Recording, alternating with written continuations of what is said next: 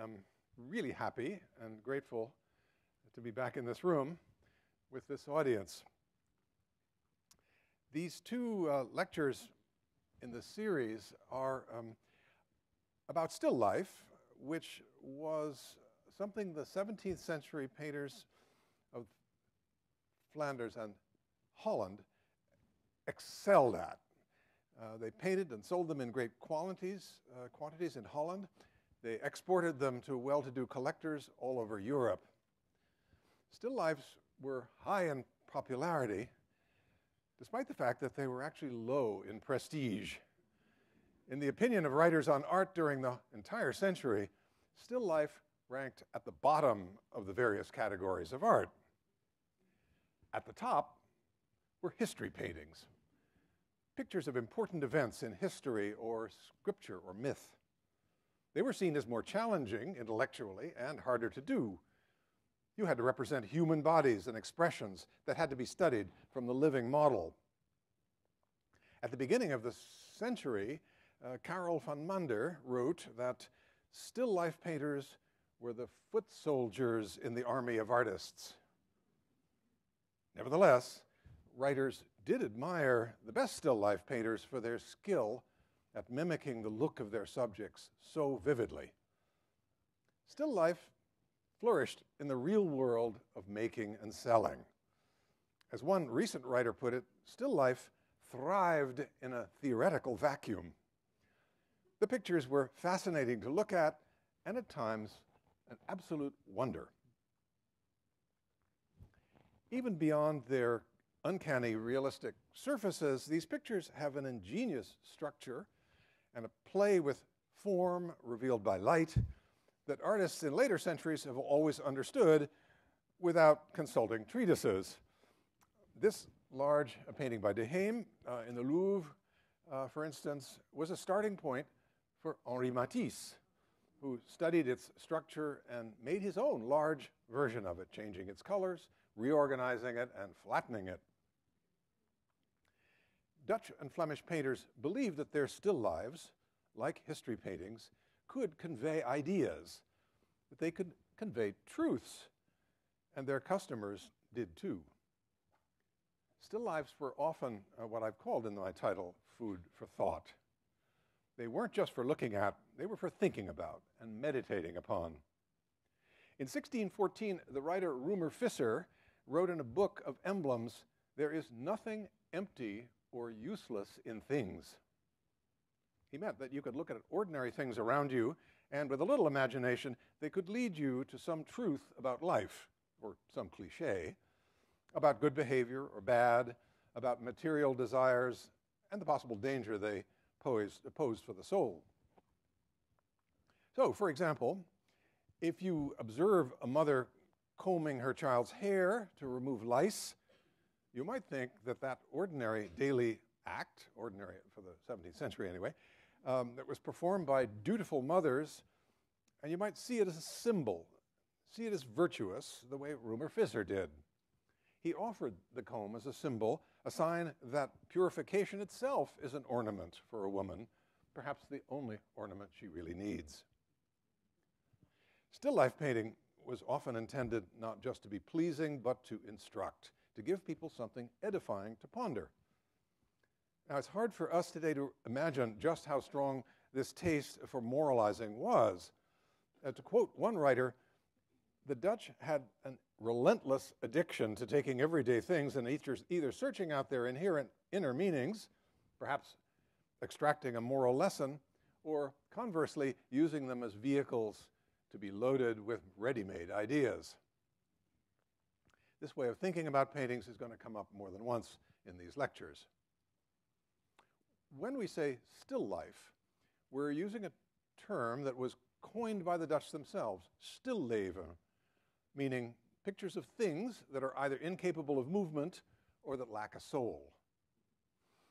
The range of things that painters depicted got steadily wider, and by the middle of the 17th century, it included many categories, including vanitas uh, images like this one about the brevity of life, so called breakfast pieces with food and lots of it, kitchen still lives with implements and vessels and food, pipe smoking pieces with the necessary apparatus,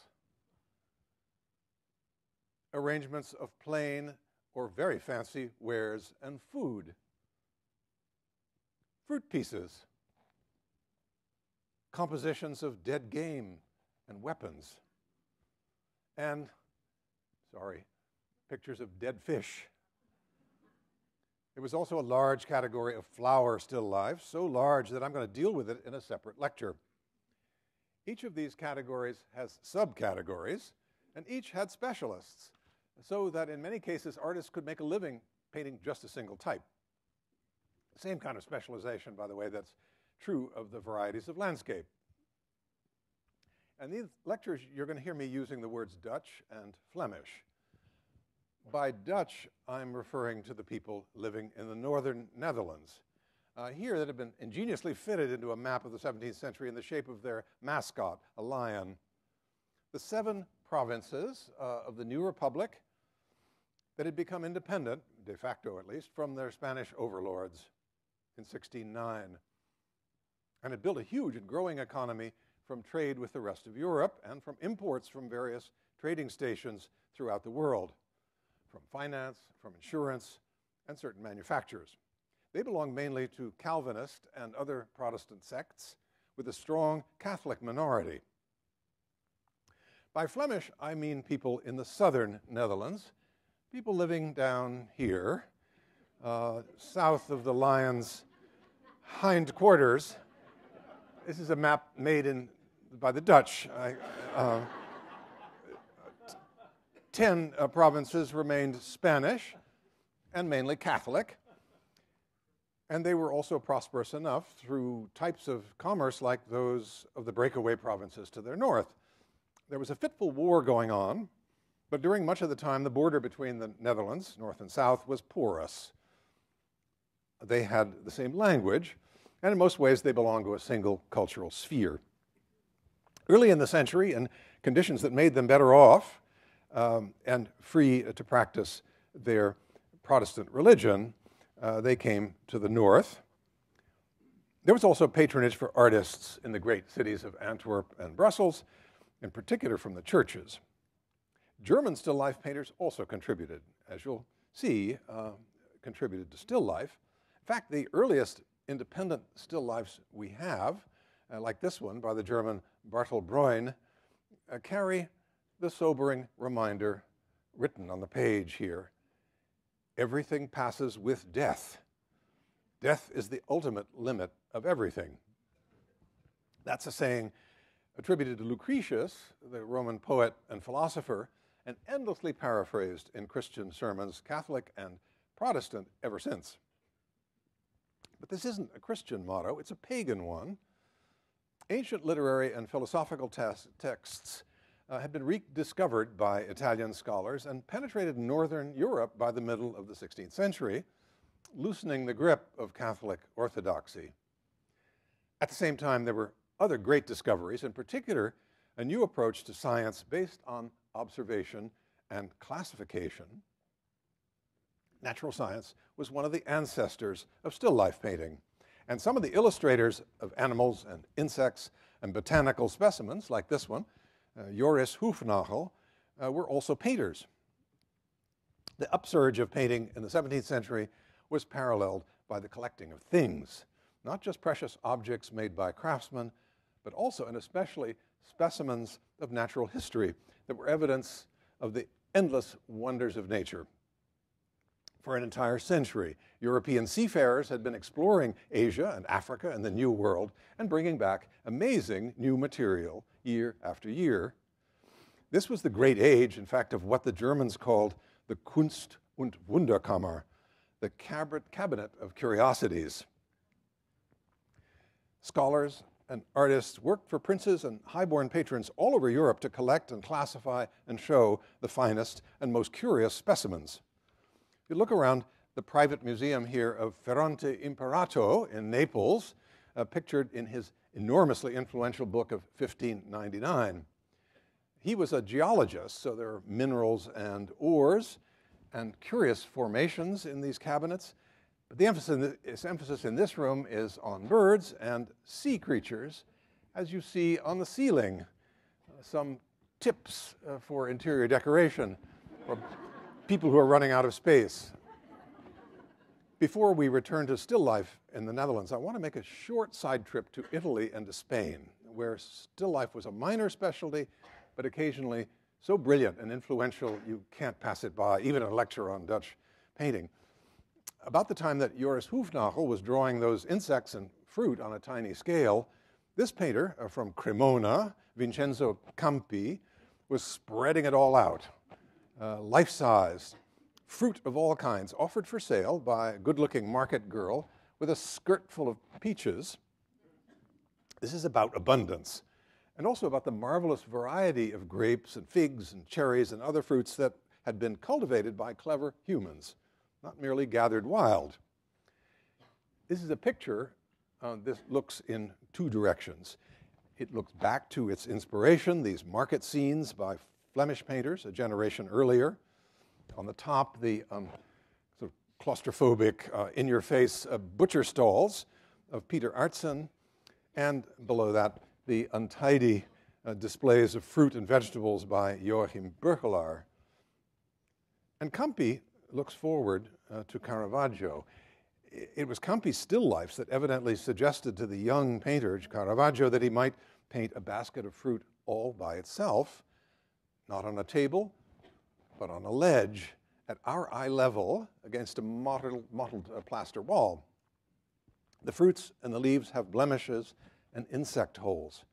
They're unidealized. They're as unidealized as Caravaggio's actors uh, in his scene uh, of Christ revealing himself at Emmaus, where, as you can see, he puts another basket of fruit on the table, upstaging the action and doing it with an audacious bit of trickery, making it seem to hang out over the edge into what looks like our space. And that sharpens our sense of actually being present at the scene.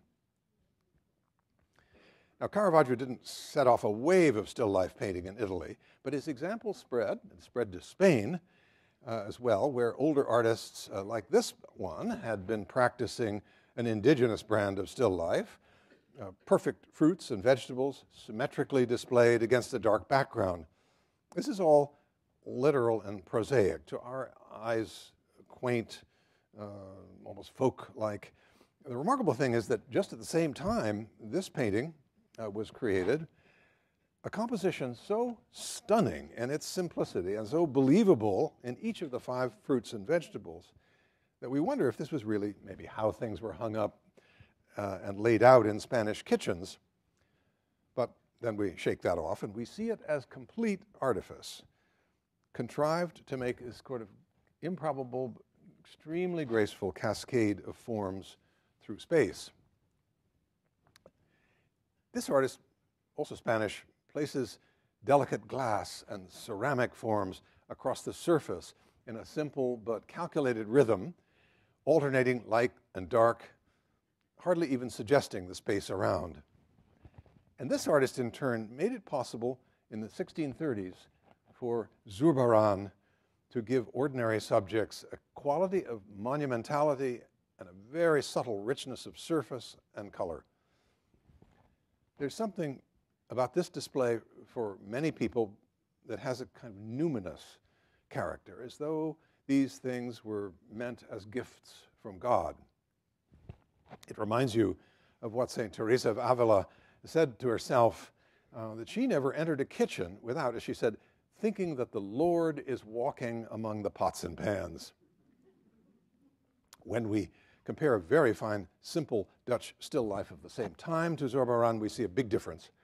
It has a luminous envelope of space, a complex composition, and a suggestion that people have already been here. The Spanish do without these complications and put across something that is perfectly wonderful, but in a different way. Now, um, back to Northern Europe, where we left off. Uh, Painted Still Lifes began with this ancient theme, as you heard, of the brevity of human life and the foolishness, foolishness of our attachment to material things and sense pleasures. This is an idea that had a long life in the Netherlands. And on the right is the first picture of its kind from the beginning of the century by the brilliant Dutch painter Jacob de Gheyn. He invents a symbolic language beginning with the oldest symbol of all, that skull, and adds a flower, symbol of beauty and transience. In this case, it's a tulip of that gorgeous striped kind that was being developed right then in the Leiden Botanical Garden. Flanking the tulip uh, is another vase with a bit of smoke coming out of it. Well, these are both Old Testament images, as many members of the audience would know right away. Not this audience, but the audience that the picture was painted for. Sorry. Um, in the book of Job, man comes forth like a flower and is cut down. And also, my days are consumed like smoke. Above the skull is a bubble, another short lived object of beauty. And flanking the niche are fictive sculptures here uh, of Herac- uh, Heraclitus and Democritus, uh, the weeping and laughing philosophers of antiquity. The skull rests on some wisps of dry grass, which recall the prophet Isaiah All flesh is grass, all the goodliness thereof is as the flower of the field. The grass withereth, the flower fadeth, because the Spirit of the Lord blows upon it. And on the sill, there are coins of the Habsburg Empire, which the Dutch were in the process of defeating. Should anybody miss the moral of all this, carved into the top of the arch are the words humana vana. Right. Beauty, pleasure, riches, worldly power, all of them come to an end. I'm here, I'm going to introduce uh, the artist of my title today, Pieter Claesz, who took up this theme but didn't take up De diagrammatic way of treating it. Instead, we have, instead of this niche, uh, I should say, we have a table, and the skull sits on a book and papers bridged by a feather quill, a swooping down to an ink holder. It's a kind of process and product. There's a wine glass uh, tipped over. Someone's been here drinking and writing, but it's all finished. The wine uh, of life is gone. Uh, in the oil lamp, the flame of life has guttered out. What strikes us is how plausible this all looks, how persuasive the glass seems with those reflections of the windows the room that we're in and the shine of light on the red glaze uh, of the earthenware lamp and the crackly texture of the paper. We also see how subtle the shadows are everywhere we look. We see a dance of diagonals in two directions here, here, here, and we see the skull turned off center. Now, what looked like a simple setup at first is actually barely in balance. Starting with the glass, you wonder what keeps it there. It could roll off with the least movement, just as the quill could fall with a breath of air. I think with this arrangement, the painter is suggesting that life is not only short, but precarious as well. This kind of still life appears in many hundreds of inventories in Holland in the 17th century under the title Vanitas. And Pieter Claesz made elaborate variations on the theme. Uh, the setup here has some of the same stuff as the picture we just saw, plus a violin, whose sounds, after all, are heard for only a brief moment and then fade, like life itself. There's a pocket watch down there, too, uh, a pretty new invention that appears in many still lifes through the centuries, counting out the hours. The novelty um, here is the glass ball, a stand in for the soap bubble that you saw in the painting by Gheyn a moment ago. It reflects the still life on the table. You can see the violin and other things. It reflects the still light on the table and the room beyond with its door and window, and the artist himself at the easel painting the very picture we're looking at. So the painter is showing off here, demonstrating that his mind is nimble enough to employ two systems of describing the world at once conventional one point perspective for the table and spherical wide angle projection in the globe. He lets the spectator comprehend more of the world around him than she could with the painter's help. Well, this is a trick Claesz doesn't perform again. He turns from this kind of hermetic and self referential world and becomes a kind of virtuoso of consumption. He paints tables that appear ready for us, the viewers, to what exactly? Not sit down, because there are no chairs or even space for chairs, let alone plates for us. Well, is it a buffet? If so, people have been there already. They've been at it. It's a bit of a mess. The pie's been broken into, bits are scattered around, olives have escaped the dish and are on the tablecloth. No, this is a display of good things for us to look at, arranged with no functional order, but with a lot going on visually. There are shapes and colors and textures with terrific variety, organized symmetrically. Um, their basic shapes, of course, are ovals, which you can see everywhere. There's a vertical center line uh, here. And to the left of that, the candy plate. Over here to the right, the bread. To the left of it, again, the olives. And, oops, where's my Tinkerbell? There. Uh, the olives, and to the right, another plate, and so forth. A serving spoon uh, to the left, and to the knife to the right, not incidentally, diagonals that converge, making a big triangle. So formally, the picture is tightly thought through. We get a very good view of this layout on the table because our point of view is rather high. We're looking down at the table. And I think certain things are there just to intrigue you. The plate uh, that sticks out beyond the edge of the table, uh, kind of slightly unnerving, and lets the artist show off his skill. And there's the lemon, which in still lives all through the century often uh, steals the show. Most often, the lemon has been partly peeled uh, by somebody with the skill uh, to make the peel form a kind of continuous helix. The peeled lemon, in fact, becomes a kind of kind of compulsory figure in competition among still life painters for grace and precision. The nubbly top is already sliced, so we can savor the look of the translucent lemon flesh with the pewter actually visible through it and see the lemon's reflection in the surface. The more you look, the more you see. Well, if this is food for thought, um, what did the artist want his audience to think? About indulgence and its dangers? That's been suggested, and some people might indeed have thought that way.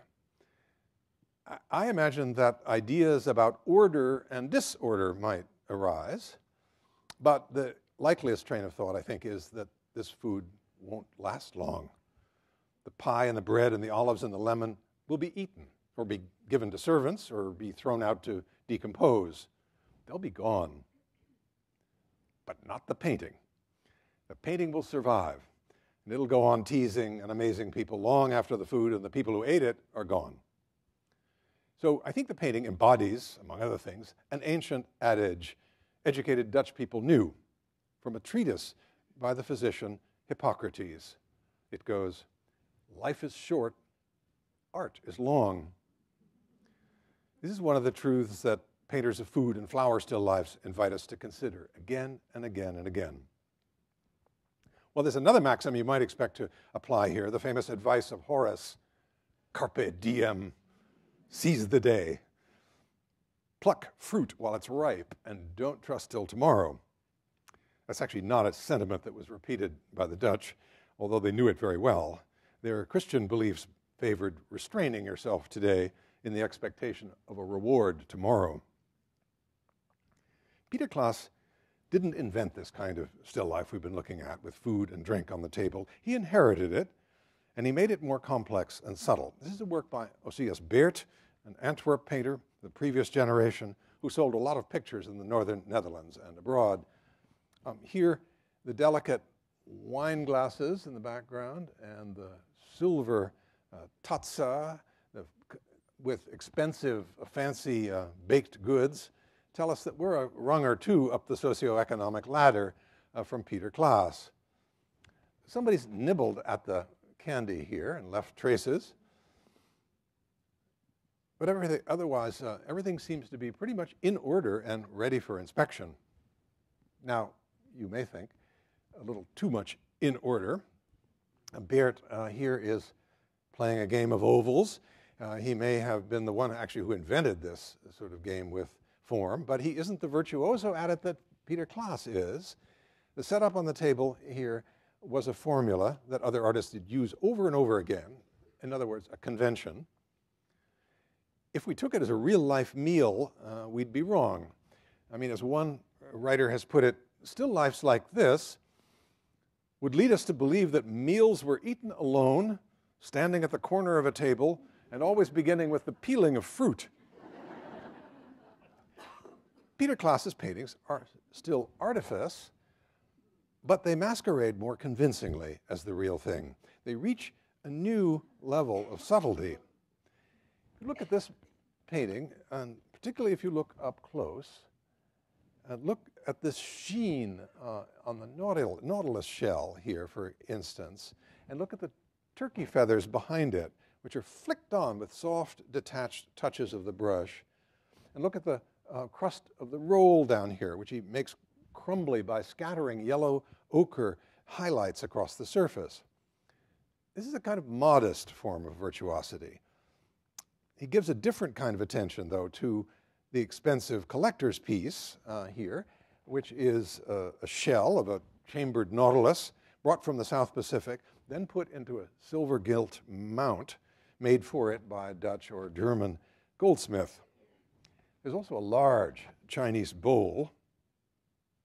These things speak directly about wealth and indirectly about how they got to the Netherlands, a long, dangerous, profitable voyage to Asia that brought them.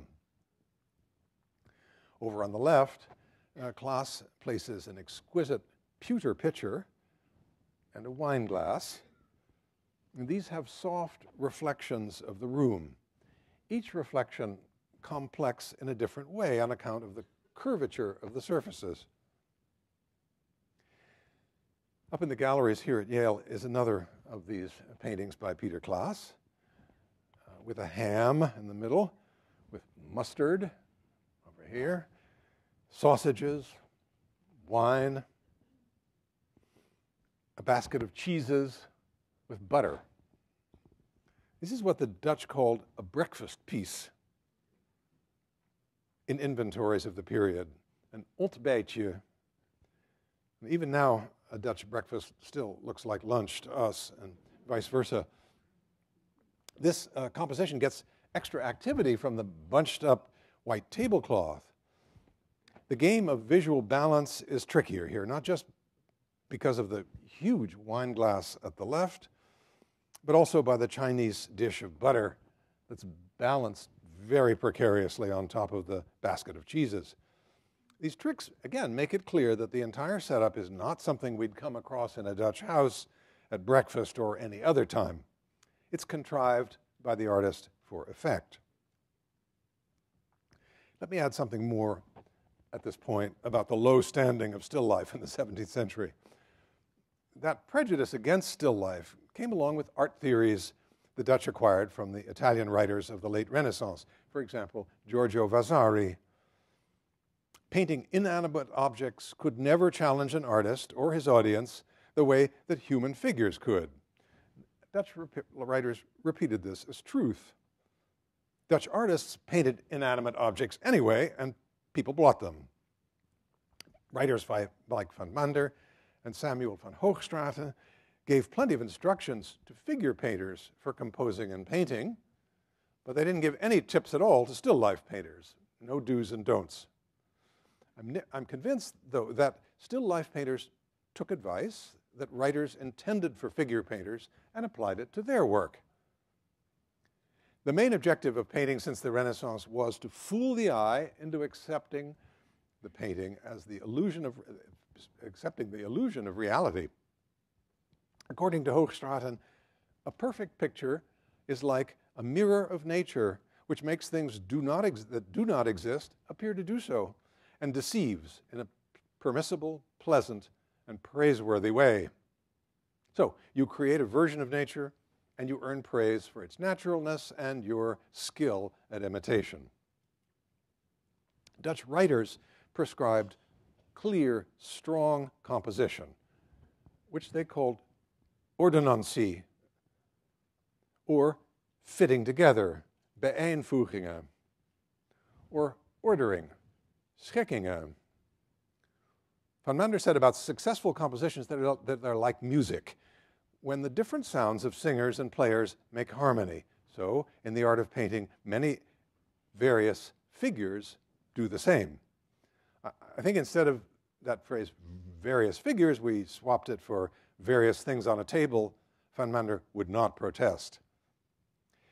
Writers tied composition, the arrangement of things, to the pictorial space that the artist created through perspective and color and lighting and the positioning of things. That entire combination of techniques gave the painting its houding, a term that evidently meant plausible form and position in space.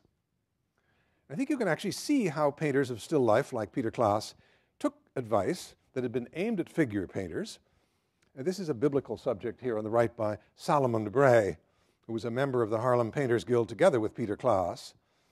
It shows a scene from Genesis where Joseph has, has left uh, Israel, gone to Egypt, where he became very grand. He became viceroy to the Pharaoh, but was estranged from his father and brothers.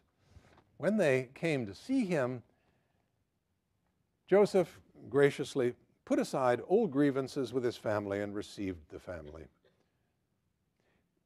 The power of De Bray's composition comes from the way he groups the figures legibly, creates a believable stage space with a platform, and uses light and shade and harmonious, subdued colors. Well, that is what Pieter Claesz does.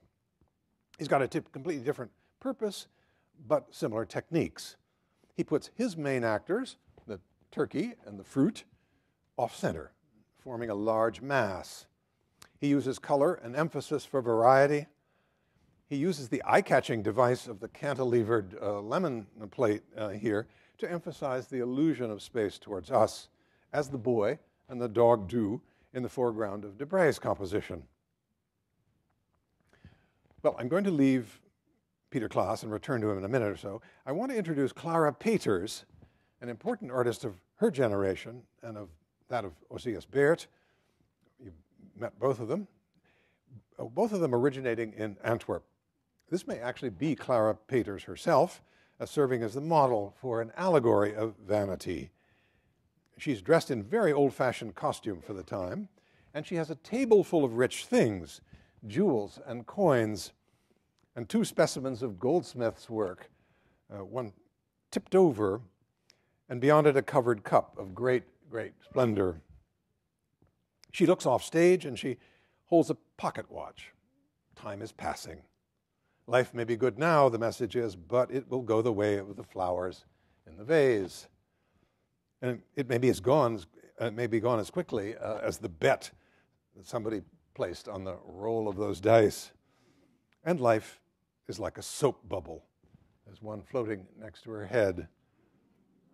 It will pop. So you've seen this apparatus before in the grim looking painting by, by de Gheyn, imagery was popular. As I've said, there's many, many versions. Here's a more spacious version by an Amsterdam painter, Jacob Duck. Table loaded with symbols of wealth and knowledge and passing time. And there's the skull again.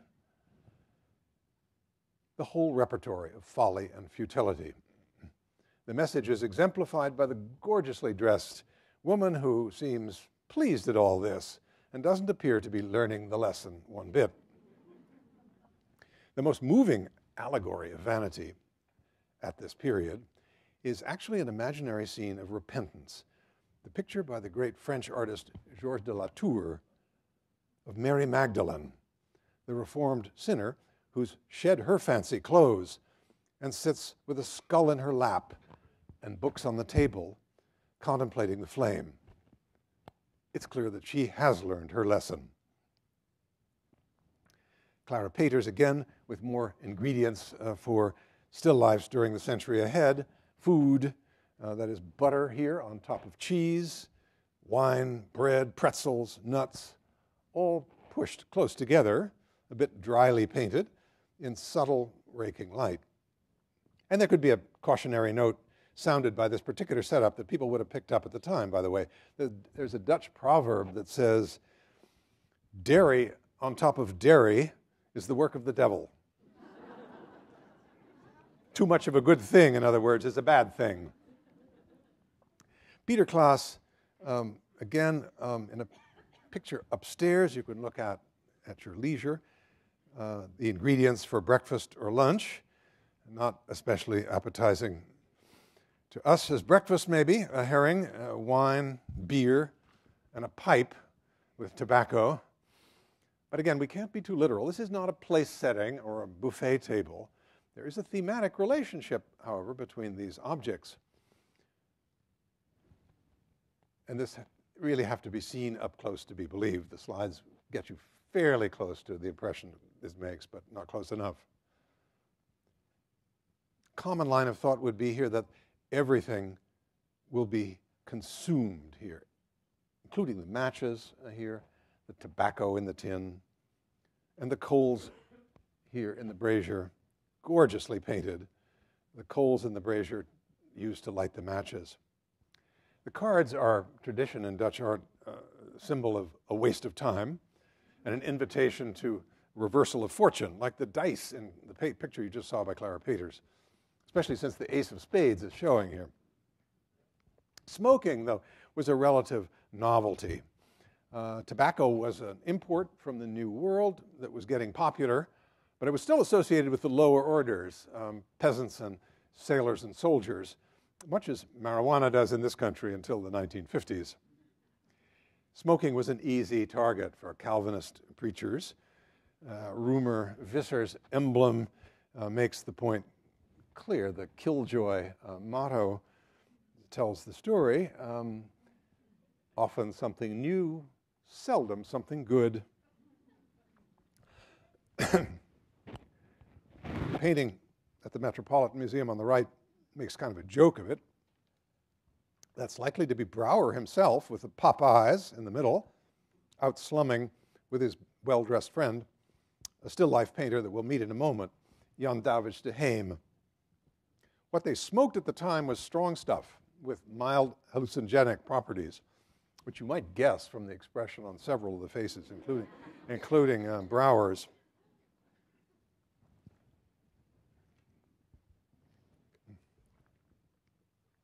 This is by Pieter Claesz's counterpart in Haarlem, Willem Claesz Heda, who painted many of the same subjects in a somewhat cooler tonality with finer, more sharply focused technique. The light falls more emphatically here on the table and the wall behind as well, making a distinct space around it.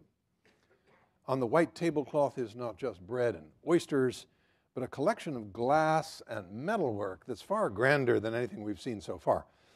At the right, you get a kind of summit meeting of huge pewter flagon and tall gilt cup, silver taza tipped over, uh, silver standing salt here. There's a great big two-handled Roemer, you could say, um, and an exquisite Venetian pitcher. Things are just a bit disordered. Some oysters and bread have already been eaten and a glass at the far right has capsized just as arbitrarily as the big taza has. We see right away what these two fallen things do. They're the two sides of an implied triangle that stabilizes the right half of the picture, plays off against the unstable, disordered white cloth. And again, the plates are pushed out a bit precariously into our space. The customary game of balance is going on on the right, the crowding of those large vessels into a much heavier visual mass than anything else. But on the left, offsetting the mass, is the greater breadth of the table that exerts a kind of cantilevering force to produce equilibrium. And there are nice touches here, like the familiar lemon pushed to the far side and trailing down into the void. Heda began a, de- a decade earlier uh, with Vanitas paintings like this one, which are meditations on music and learning and other activities that tempt people to self importance, to pride, which may in the end be as bad for the soul as too many oysters and too much wine is for the body. Heda relies much more on subtle modulations of light and dark than on strong color. In fact, there isn't any strong color. This so called monochrome color scheme of grays and tans was common to many Dutch artists painting these subjects, all kinds of subjects, starting around 1625 or so and on into mid century. This began, in fact, with sea painters, um, especially this one on the upper left, Jan Porcellis. It spread to landscape and came indoors uh, for genre paintings too. One generation's preference for modesty is apt to be reversed by the next generation, of course, which is just what happened. Meanwhile, Heda, as modest as his colors were, became one of the great observers of the play of light on materials and one of the most seductive sort of conjurers of form. About the time he painted this picture, his contemporary Jan de Heem was preparing to leave Holland and go back south to Antwerp, where he'd come from. You saw him just a moment ago, the well dressed guy with the smoking buddy, um, Brouwer. Uh, he painted this still life with some new and influential ideas that he surely got from artists in Antwerp, and I mean especially Rubens. Uh, Rubens never painted a still life, but many of his older pieces have an essential energy that comes out of a big diagonal and sometimes a spiral that comes up, formed by many figures slashing across the composition. That is actually what we see uh, in De Heem's picture. It's different forms bound together into one big slanting form that's interrupted by various things, surprising contrasts like the lemon peel here at the top and uh, the, the, silver cup uh, which cuts across that descending diagonal. The lobster here is also something new. You could buy lobsters, uh, but they were banquet food and they may well have been food for thought about what made them so beautiful and succulent. People knew that they were dark green and weedy when they were alive at the bottom of the sea. It was only in death that they fulfilled their potential for being beautiful and delicious. I can't prove that Dutch actually thought that, but I'm going to suggest it anyway. That's what we're free to do. The bold diagonal is possible because there's such a precarious and maybe kind of impossible pileup uh, of tipped over vessels on top of one another, you could also think in human terms about this combination of beauty and instability, which could only be temporary. The light uh, streams in uh, from the right across the wall and plays dramatically against the wall, giving a kind of theatrical presence to what's going on here. Uh, De Heem, as you see, uh, enters the lemon peel contest uh, one more time. Uh, here, uh, this time he drapes the peel over the mouth of the cup and just lets it dangle down to tease us. Well, De Heem very soon became the greatest still life painter of his generation. By 1640, he's working on a large scale with even richer objects. This one that you saw before is eight feet wide uh, in the Louvre it's what the Dutch have called a pronk still life. P R O N K. Pronk means ostentation. You've seen most of the stuff before, but in smaller quantities, in vastly simpler settings, or no settings at all, maybe just suggestions. Here, the setting is abbreviated, but it's obviously palatial. Bear in mind that not all clients for this kind of picture actually lived in palaces, large houses maybe, but in most cases, grandeur like this reflects the owner's aspirations, not his actual condition in life. This is a situation like those portraits where artists in the southern Netherlands gave their successful middle class subjects the attributes of nobility. Uh, the man here for example, has been given a stock attributes of the well-born and important. Uh, that is a stone a pilaster here, uh, a parapet, and beyond it, a view of country property, and overhead, a mighty swag of dra drapery. But this wasn't an elevated personage. It wasn't a wealthy man. He was a painter. He was a still life painter at that. And you'll see his work in a minute. Here, all that honorific apparatus, frames, superabundant rich vessels, which are disordered in ways that we've been talking about. The pie broken into by somebody who got there first. It's also precarious. A huge, huge Chinese plate, very expensive. Uh, tilts, sits on top of the cheese and tilts as though it were going to fall off. This is evidence again that what De Heem was painting was not an actual buffet, but instead a complex setup in the studio by the painter who would then pull off the miracle of painting it convincingly. There are a few extras thrown in, like the globes uh, here at the right, alluding to the knowledge of geography that made those foreign imports possible. The lute at the left speaks of cultivation and perhaps of the harmony that reigns here. By mid century, uh, De Heem was painting banquet still lifes with less pronk in their setting, but with rich vessels nevertheless.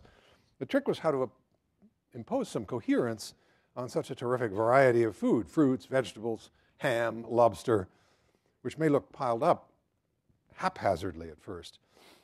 He does it by making a large wedge of form that rises from left to right,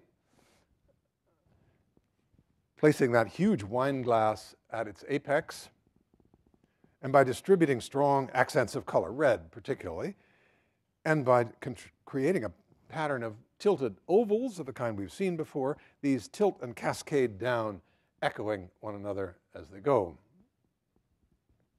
At the same time, De Heem became the most original painter of flower still lifes. But that's a story for the next lecture. Nearly on a par with De Heem as a virtuoso was the painter Willem van Aelst. He was a generation younger than De Heem and partly formed by him. He spent 10 years abroad in France for four years and then in Florence as court painter to the Grand Duke of Tuscany. This is an astonishing seven foot high picture of an assemblage of arms and armor and other splendid metalwork that's as though he'd been commissioned by some wealthy nobleman or to paint his armor and trappings in his finest serving vessels, plus chain and medallion, the sign of princely favor. So, do we detect a sign of transience anywhere here? A watch or a guttering candle, maybe? Or some note of caution about pride and worldly success? Not that I can make out. Um, I haven't seen anything like this. It looks like shameless ostentation to me. If you look at the intense blue of the table cover here, uh, you realize it's painted with ultramarine, a pigment made from ground up lapis lazuli, brought all the way from Afghanistan, the rarest and most expensive pigment of all. This picture is still in the Palazzo Pitti, uh, the former Grand Ducal Pal- uh, re- reverence, uh, residence in Florence. Van Aelst sets the viewpoint lower than we've been seeing, and the f- format is vertical, so the pile of fruit is level with us, and the glass covered cup towers up, up, up, and we see it foreshortened from below. It's a picture that seems to be all about ripeness, uh, the moment of perfection, the melon uh, ready to eat, the fruit all each glistening with droplets, the peach just beginning to split. The grape leaves here and the twisted tendrils perform a kind of acrobatics uh, on top of all this. These have turned blue, by the way, because the yellow that he'd used to mix with blue um, got uh, to get green um, had faded, something that you see in landscapes in this period too. Van Aelst is best known as a flower painter, and he's also the master of another branch of still life painting that I haven't been showing you, the so called game piece. These pieces show dead animals and birds, and sometimes the weapons that brought them down. At the center uh, here is a partridge uh, hung upside down by his feet, wings splayed out in a kind of touching sort of downward flight, and two songbirds here and a kingfisher strung up. These are almost upstaged by the hunter's bag, uh, made of fabulous velvet with a gold fringe and silver buckles. There's no gun here, but there's something hanging at the top next to the little birds that tells you what killed them. It's a hood with a little plume. And it would have covered the head of a falcon until it was time to let it loose. This little boy shows you. Let it loose so that it would intercept those birds in midair. At the right side, you see a picture of a party of falconers letting fly as their servants on foot at the left and at the right are holding hooded falcons for when they're needed. Hunting had been an aristocratic prerogative in Holland earlier in the century uh, when few people other than nobles had the land to, for hunting. As rich merchants were buying country estates and often buying the titles that went with them, uh, game hunting became more common, and there were buyers for pictures that boasted of the stags and the boars and the birds and the prowess of the hunters that had managed to bring them down, or might hope to bring them down. The details reveal um, what you see in this painting up close. Uh, Van Aelst's kind of phenomenal exactness at recording all of this the nice geometry here of the falcon's hood, and even the knots uh, in the strings. And then there's the bag and its fastenings. It's, a, it's quite a trick to be this precise without losing the variety and the life of the painted surface. This taste for hunting and game paintings came from the southern Netherlands, uh, where it was established by Rubens and the artists in, of his circle, especially this one, Frans Snijders, whose portrait you saw a moment ago. In this picture, it's about eight feet wide. Snijders uses the broad sweep of diagonals we've been seeing in other pictures, a kind of characteristic um, device of Flemish painters, uh, contrasting the postures and the colors uh, here of the gray uh, heron uh, and the peacock, which parallel each other but are very different. And that adds a kind of variety as, and, as well as coherence. The setting here must be a kitchen or a larder, but there's wine in a cooler and glasses set out. So we're not to take this as a realistic scene um, behind the scenes, let's say, of food preparation. This is more like a celebration. Rembrandt painted exactly one still life, an image uh, of dead game that once you see, you never forget. He put two peacocks together with a basket of fruit on a ledge outside a window. The shutters open so that the birds can conveniently be hung on hooks here and displayed to potential buyers. The girl is presumably minding the shop. Other painters made pictures of market sellers and their stalls, but not one with this kind of drama. Rembrandt, of course, amps it up with the light, which falls behind the birds as well as on them, and he paints the feathers with kind of energetic and forceful strokes. And there's a pathos in the bright, uh, bright uh, blood that uh, snakes uh, toward us, and also in the way that the heads are picked out by the light and cast, and are doubled really by the shadows they cast on the sill.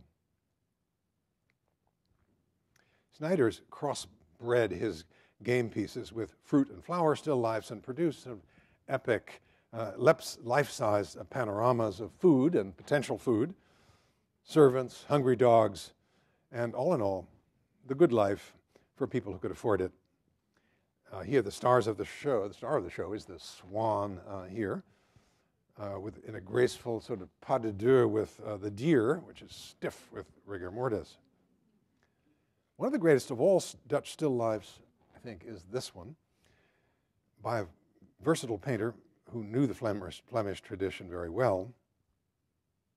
At the right, uh, a bittern hangs upside down Its under feathers seem to explode in the light. The wild turkey nestles against the swan as though he were asleep in a kind of feather bed. Those feathers are painted with soft strokes that painters still call featherly, feathery strokes. This is one of the highest achievements of Weenix, who's found a way of painting that suggests rather than spells out the details of what he's showing. The birds are beautiful in death. While they were alive and flying and sitting or even walking, there was a beauty in their movements, but we wouldn't have seen the graceful poses and choreographed relationships that we see here. Was there some moral in all this? Did the artist want to convey something about life and death? Well, nobody's actually argued for that, and I kind of doubt it. I think this was intended to be admired, admired as a feat of composing and painting. Another Dutch painter who reaches this height is much better known, and that's Willem Kalf, who was born in Rotterdam. Like van Aelst, he spent time in France as a young artist and practiced a particular mix of peasant genre painting and still life.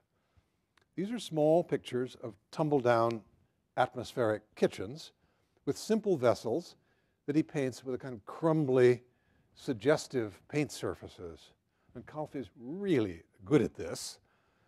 He's so good that a century later, his pictures were the starting point uh, for the intimate kitchen pieces painted by the French artist Chardin, uh, which take the possibilities in Dutch still life painting still farther. Kalf develops what you could call a sort of upstairs vocabulary too. Uh, this is something like the Pronk still lives of Heda, but with more lavishly upholstered setting and with stronger light. And what's striking when you look up close at this picture is how broad and patchy the highlights are. They're not tiny, precise touches like those of Heda and others we've seen, particularly if you look at the chain. You see something here in the equally amazing in the background uh, here on the left, a very freely brushed roll of bread and wine glass, full of broad touches. They're partly translucent. And there's also the wine glass equally freely painted, and behind it, the reflections on the silver platter.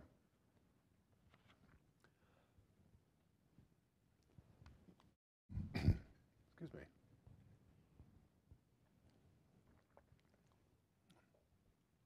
Kalf goes far beyond every other still life painter in the way he treats the metal vessels and groups the fruit with care and restrained dignity without showing off. The space around is just suggested. Vessels, though, are fabulous. Uh, an example of contemporary silversmithing, um, probably by Adam van Vianen, and a tall, uh, amazing glass holder, gilt, uh, surmounted by a wine glass. After a while, you can make up that the whole setup is in a stone niche. It's not served up for you on a table, but arranged almost as though it were worthy of veneration. At the right is a pocket watch again with the usual reminder that time is passing. And if you care to think about it, so is your life. So don't get attached.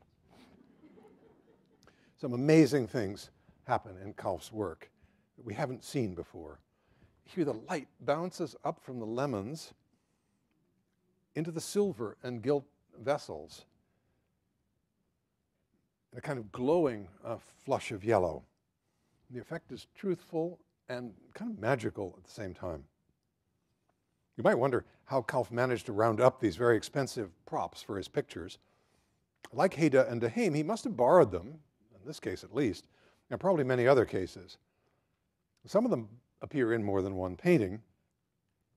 The drinking horn uh, in this picture, a buffalo horn with silver mounts, was actually made a century before for an Amsterdam militia company of archers whose patron saint was Saint Sebastian. And we see on the base uh, here being shot with arrows. The horn was a kind of talisman uh, for the militiamen, and they used it on ritual occasion during Kalf's time. It's now actually in the Historical Museum in Amsterdam. It's likely that Kalf made the painting, in fact, for a member of the militia. Here, Kalf combines the buffalo horn with a lobster. And you wonder, mm, could that have suggested anything? Is that more food for thought? Two creatures that had powerful defenses, after all, a hard carapace and two pointed horns, both of them ending up by providing the master race with food and drink. Again, no 17th century writer instructed us to think those thoughts, but we may if we like. The painting technique, again, is striking because the highlights are scattered like stars over the shell of the lobster and in other places like those little silver figures, which stand up as detached blobs. Only one other painter in the Netherlands renders light in that way. You see it uh, in Vermeer's paintings of around this time, like the milkmaid, especially in his still life on the table. The materials are different. Uh, Kalf's are shiny, Vermeer's are crumbly, but the effects produced by each man's sort of constellation of soft, blotchy highlights are very similar and um, quite uncanny. I'm going to end with this picture by Kalf, uh, which is for me the most rewarding still life of all. It deserves a close look and a thoughtful one, keeping your mind open to the associations that are aroused by what you see. I think that's the spirit in which the artist wanted us to approach the painting. And here I'm following some suggestions made by a colleague of mine, Anne Lowenthal. There's nothing new here in the inventory of objects, except maybe the red uh, carpet uh, carpets were used as table coverings in well to do houses, and in fact, you can still see them on tables in old fashioned Dutch restaurants in smaller cities. And there's a Dutch, there's a Turkish carpet uh, in this painting upstairs by Jan Steen, a part of the furnishing of a, a sort of pseudo respectable room used for entertaining guests and fleecing them. Kalf's carpet is a fine Persian example that's scrunched up, so we can't really make out the pattern. So it provides a kind of party game for connoisseurs who would have probably had enough clues from what we see here to recognize what they were looking at and might well identify where it came from. On the carpet is a little anthology of objects of great, great luxury. There is a Chinese porcelain bowl with a lid decorated with colorful figures modeled in relief. Sticking into the bowl is a fine silver spoon, and underneath it is a silver platter in the style of contemporary with the painting. And a lemon with an unwinding peel, the best there is, as far as I'm concerned, is there together with a knife and an opal handle that obviously did the job of peeling. At the right is a large Seville orange from the Mediterranean, just touched on its shoulder with, by light. And behind the orange, the familiar Dutch Roemer holding white wine. A nautilus shell, another, in a fabulous gilt mount that I'll return to in a second, and a tall glass goblet with a cover and a base, both fantastically ornamented with twisted glass canes. All in all, it's a kind of mini trade show. Imports from China, Venice, the Dutch islands of East Asia, Persia, even the tropical locales where the citrus came from. A connoisseur of Kalf's time knew all that and would have inspected the figure on the, the figures on the Nautilus mount and the ones on the porcelain bowl. They're from two different traditions. The first, pagan mythology of the sea, represented by the merman uh, here with his twisted tail, fish tail, who's straining to hold up the shell and the figure of the sea god Neptune on the top. Uh, and then there's the Old Testament and the story of Jonah, who is shown escaping from the great toothy sea creature whose belly he lived in for three days and three nights until God set him free. He's running from the fish toward the tall glass containing red wine, which Lowenthal suggests is an allusion to the Christian wine of salvation, and I think she's right. On the bowl, several brightly colored visitors from yet another culture, China, several of the eight immortals of Taoism, former humans who became something like saints. I'm stressing this mix of deities and saints from different belief systems in this picture because they are food for thought, and they were intended to be. They're reminders uh, of the extent uh, of the Dutch seaborne empire, the title of the great history book by Charles Boxer. The Dutch seaborne empire, they're a boast of wealth, of course, and of the power and the success that brought that wealth to the Netherlands. They're a demonstration of the wit uh, of Willem Kalf and of his tremendous prowess in making this, this seductive image. And like other still lives we've seen, it is also an advertisement, this one, of the excellent taste of the 17th century owner who bought it, lived with it, and thought about it. Well, speaking of prowess, next week I'm going to talk about the prowess of Dutch breeders of flowers, of gardeners, and of the artists who painted them. So please join us. Thank you.